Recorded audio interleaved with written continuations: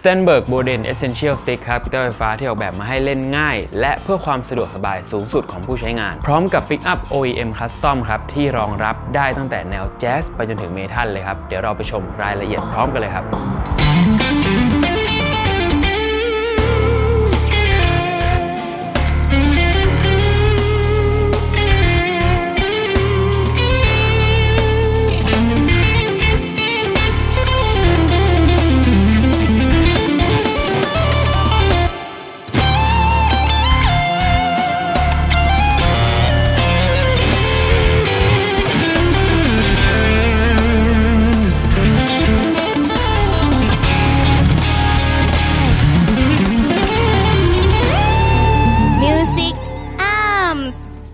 ำหรับแบรนด์ Strandberg นะครับผมก็เป็นแบรนด์ที่ขึ้นชื่อในเรื่องของการผลิตกีตาร์และเบสแบบ headless แบบนี้นะครับผมและตามหลักสรีรศาสตร์เพื่อให้ผู้เล่นเนี่ยรู้สึกสะดวกสบายมากที่สุดเมื่อใช้งานเขานะครับผมแล้วก็ทำให้มีความรู้สึกเล่นง่ายสบายมือครับ และ product ส่วนใหญ่ของเขานะครับผมก็จะมีน้ำหนักที่เบา แต่ว่ายังให้เสียงที่ดีอยู่ครับ จึงเป็นแบรนด์ที่ได้รับความนิยมในผู้เล่นหลากหลายสไตล์นะครับผมตั้งแต่ modern นะครับไปจนถึง jazz fusionหรือว่า metal ก็ยังได้ครับเดี๋ยวเรามาดูในเรื่องของการออกแบบของเขานะครับผมว่ามันตามหลักสรีรศาสตร์ยังไงนะครับก็ body ของเขานะครับจะเป็นแบบ torso curve นะครับจะมีการ contour ด้านหลังตรงนี้นะครับให้รับกับ body ของเรานะครับแล้วก็จะเป็นโค้งด้านล่างนะครับแล้วก็โค้งตรงนี้นี่ยอันนี้จะเป็นเอกลักษณ์ของทาง Strandberg เลยนะครับผมการที่เขาโค้งตรงนี้นะครับทำให้เราเนี่ยสามารถเล่นได้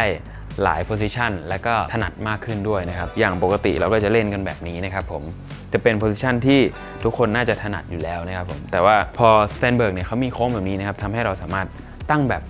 45 องศาแบบนี้ได้นะครับผมข้อดีของการตั้งแบบนี้นะครับ ก็ทำให้เวลาที่เรานั่งซ้อมนานๆเนี่ยมือซ้ายของเรานะครับ มันจะอยู่ใน position ที่เรายังเล่นถนัดอยู่นะครับผมเวลาที่เพื่อนๆนั่งเก้าอี้นะครับที่เป็นเก้าอี้แบบมีแขนอะไรแบบนี้นะครับ การตั้งแบบนี้เนี่ยก็จะทำให้ การนั่งเก้าอี้แบบนั้นเนี่ยมันง่ายขึ้นนะครับทำให้เราเล่นกีตาร์ง่ายขึ้นเวลานั่งนั่นเองนะครับผมและนอกจาก body ของเขานะครับที่จะออกแบบมาให้รับกับสรีระของเราแล้วนะครับผมก็ในส่วนของคอเนี่ยเขาก็แบบใส่ใจมากๆ เช่นกันนะครับ คอตรงนี้เนี่ยเรียกว่าเป็น ender neck นะครับ เป็นสิทธิบัตรของทาง Stenberg เลยนะครับ ถูกคิดค้นโดย Ola Stenberg นะครับผมก็จะมีอยู่แค่ในแบรนด์ Stenberg เท่านั้นนะครับผมรูปทรงแบบนี้นะครับอ่าเดี๋ยวผมจะให้เพื่อนๆดูอย่างชัดๆนะครับผมเพื่อนๆจะสังเกตเห็นว่าเขาจะเป็นแบนๆนะครับผมด้านหลังเนี่ยจะเป็นแบนๆแล้วก็จะมีมุมที่แบบโค้งเข้ามาหาเฟดนะครับผมและจุดสังเกตอีกอย่างหนึ่งนะครับก็คือ พอเข้ามาถึงเฟดในๆนะครับผมเขาจะมีการบิด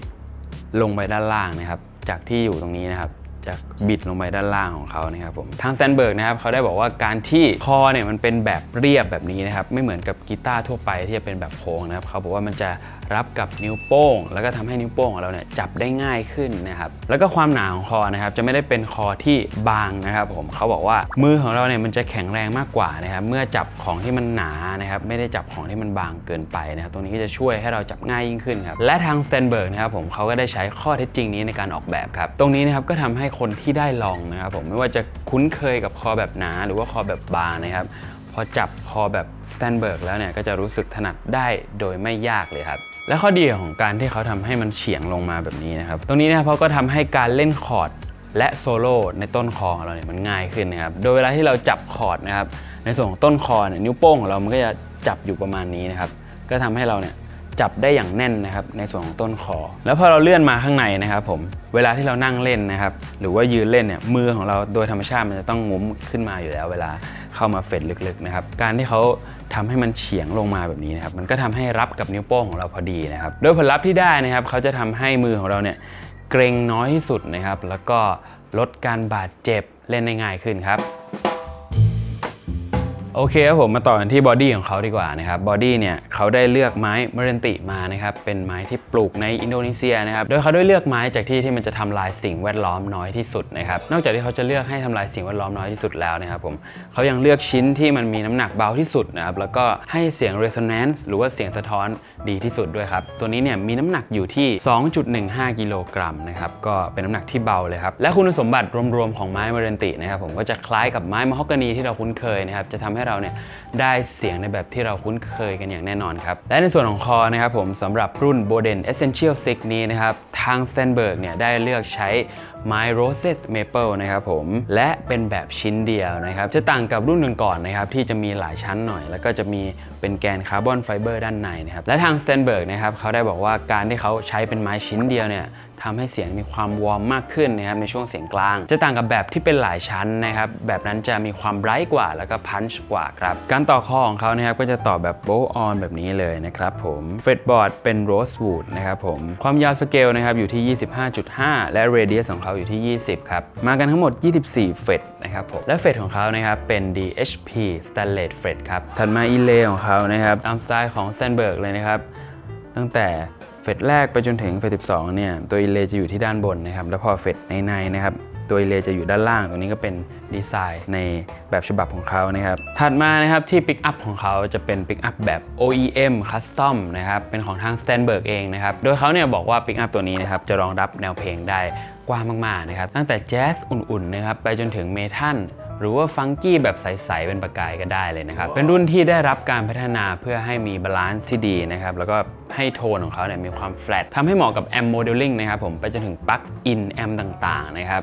และเขาบอกว่ายังสามารถรองรับกับแอม standalone หรือว่า amp หลอดที่เราคุ้นเคยได้ด้วยครับ และถัดมาที่ฮาร์ดแวร์ของเขานะครับ จะเป็น EGS นะครับ ตรงนี้เนี่ยเขาบอกว่าออกแบบมาใหม่เลยนะครับผมทั้งตัว tuner ของเขาแล้วก็ตัวล็อกสายตรงนี้นะครับได้รับการปรับปรุงมาจากฮาร์ดแวร์ในรุ่นก่อนหน้านะครับโดยเรื่องที่เขาอัปเกรดขึ้นมานะครับจะเป็นการตั้งความสูงต่ำแบบไมโครนะครับในขณะที่สายเนี่ยกำลังมีแรงตึงอยู่นะครับการออกแบบตัว tuner ใหม่นะครับให้มีความแข็งแรงขึ้น แล้วก็มีชิ้นส่วนน้อยลงครับโอเคครับและภาคการควบคุมของเขานะครับจะมากับ1 volume 1โทนนะครับแล้วก็ selector 5ทาง selector ของเขานะครับผม selector แรกก็จะเป็นการเปิด humbucker ตัว neck นะครับถัดมาจะเป็นการเปิด inner coil ของตัว neck นะครับก็จะเป็นคอยในของเขาเป็นการตัด coil selector ที่3นะครับผมจะเป็นคอยในของตัว neck นะครับแล้วก็